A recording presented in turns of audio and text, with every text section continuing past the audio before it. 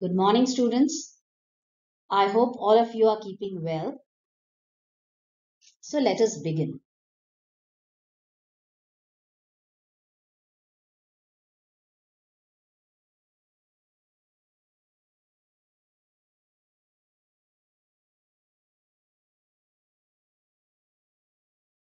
Today we are going to learn about the climate and vegetation zones of Asia. In today's module, I am going to focus on the tundra, the taiga, the steppe, and the desert type of vegetation. But before we learn about vegetation, let us learn how climate affects the vegetation of the earth.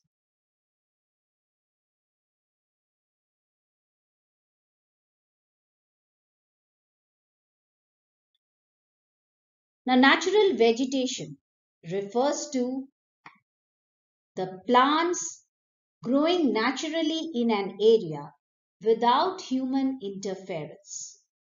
Natural vegetation depends on two very important factors and they are rainfall and temperature. Now trees will grow best where the rainfall is very high. That is why forests are always found in areas where the regions are very wet. As the rainfall decreases, the size of the trees also become shorter and their number also becomes fewer. Hence, grasslands are those regions where the rainfall is very moderate. Or we can say that the rainfall is not enough to support the growth of trees. Deserts are too dry for the growth of trees. So they support thorny bushes and shrubs and very low quality vegetation. Similarly, the cold deserts with very low temperatures also do not support good quality vegetation. They have or they support poor quality vegetation like mosses and lichens.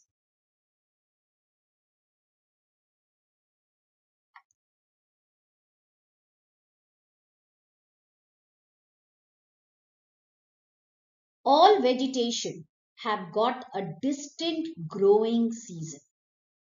And this growing season depends on the temperature because plant growth take place within a range of temperature. The growing season gets shorter with the increasing distance from the equator and with the increasing height above the sea level, which means that areas closer to the equator will have a shorter growing season, while areas far away from the equator will have a longer growing season. Similarly, natural vegetation in the lower layers or in the lower elevated regions that is closer to the sea level will have a shorter growing season than those higher up. That means as we go high up in an altitude or in a mountain, the trees will take a longer time to grow than those trees which grow in the lower elevated, elevated regions.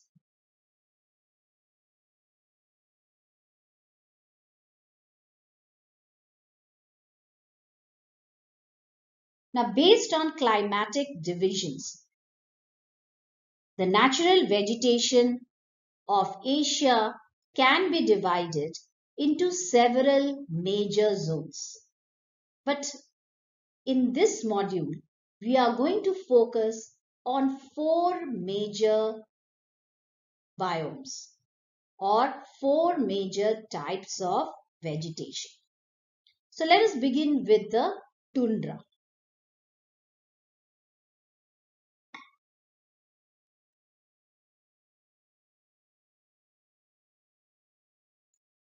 Now the tundra is the name of the vast treeless land found in very cold regions.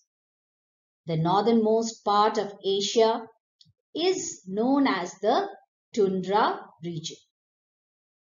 It remains frozen for a major part of the year.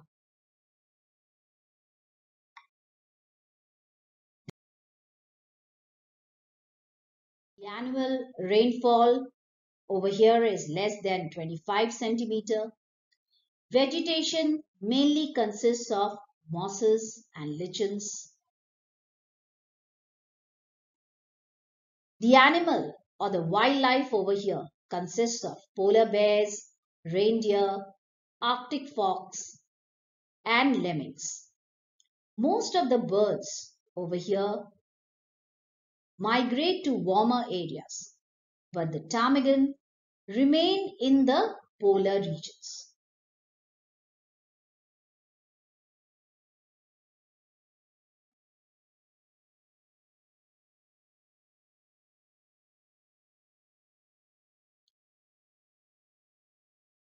South of the tundra, we have the taiga and it is an extensive belt of coniferous forest with mostly evergreen trees.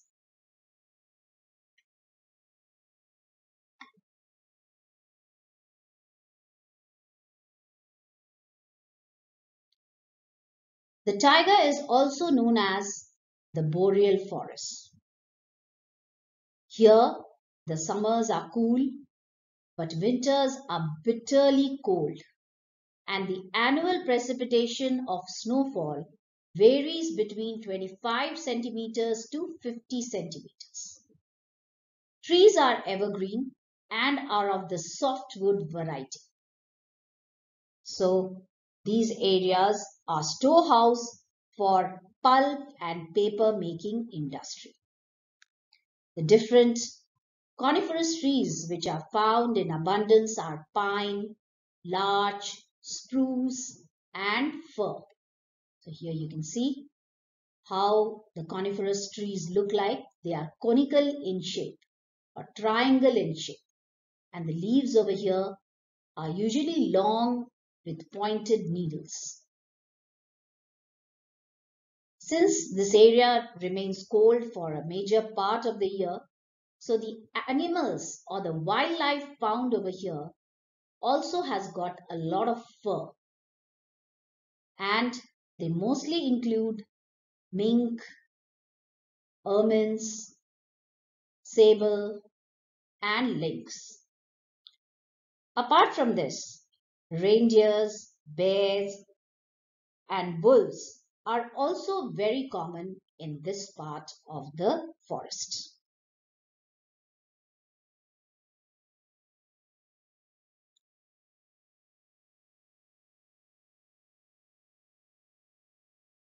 south of the Taiga, in the central and western part of Asia, the climate changes to the steppe type. Here, the winters are cold and the summers very warm. Since these areas lie very far away from the influence of the seas and oceans. So these areas suffer from extremes of climate. The annual precipitation over here varies between 25 to 50 centimeters. So grass is the dominant vegetation. Trees do grow, but they are very scattered and very few.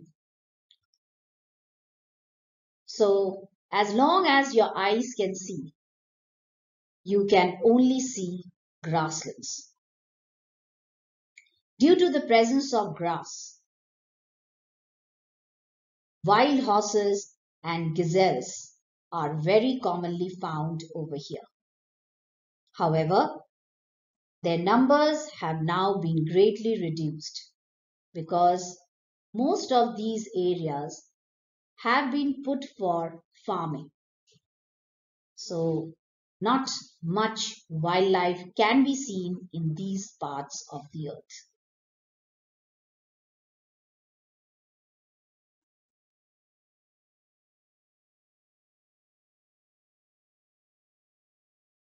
Next we come to the deserts.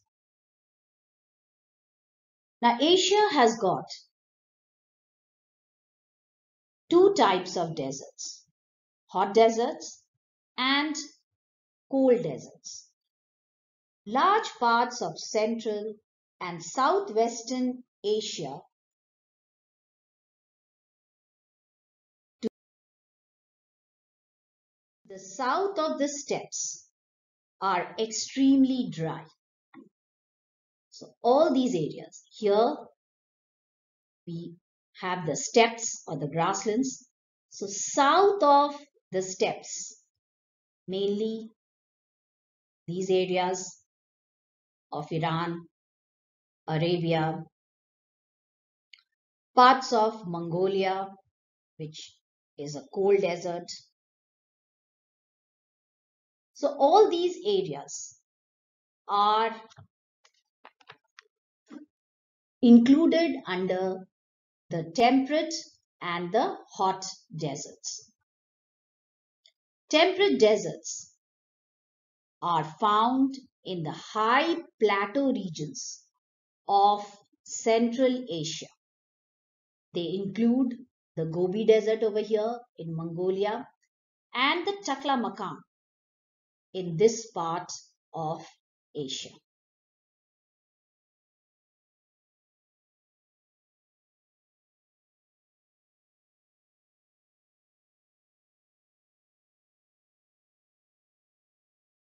Now in the temperate deserts, the winters are freezing cold while summers are warm.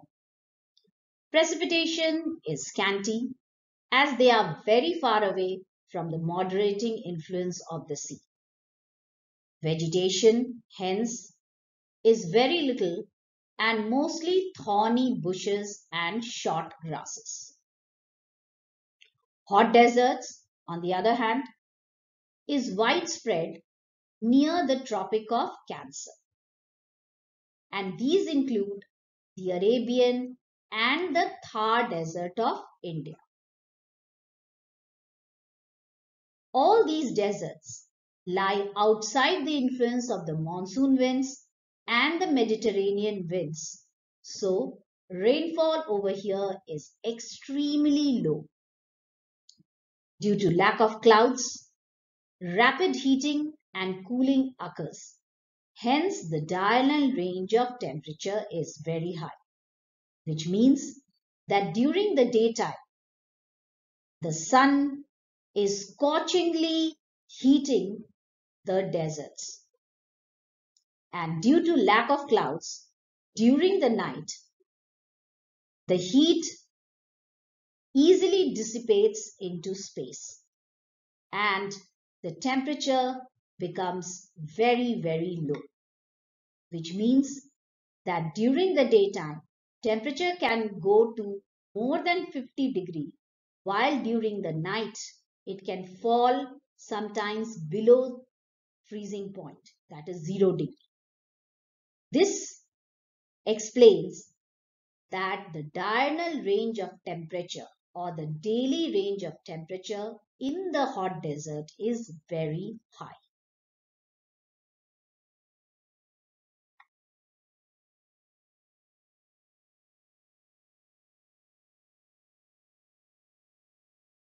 The scanty vegetation in the desert includes cacti, thorny bushes, and scrubs. Date palms grow near the oasis, while there are large stretches of land which are full of sand or might be rocky. Animals are also very less, but we can come across horses and dromedaries, which means one humped camels, and they have adapted to this arid land or dry land of the desert.